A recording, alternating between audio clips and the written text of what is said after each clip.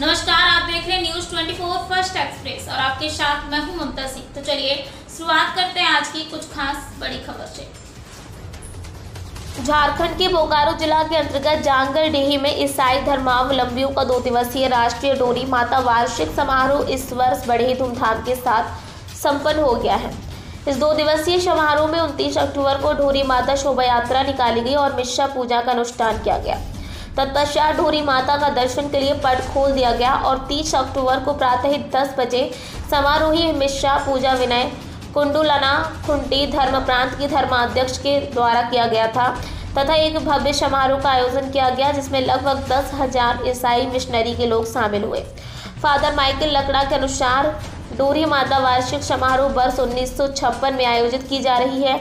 इस कार्यक्रम में झारखंड, बिहार छत्तीसगढ़, यूपी के अलावा पूरे देश से ईसाई धर्म के लोग आते हैं। कभी कभी विदेशों में भी आ जाते हैं। कार्यक्रम का आयोजन ढोरी माता तीर्थालय चारंगडीही के द्वारा किया गया है। न्यूज़ 24 फ़र्स्ट एक्सप्रेस के लिए मुनीश कुमार वर्मा की खास रिपोर्ट।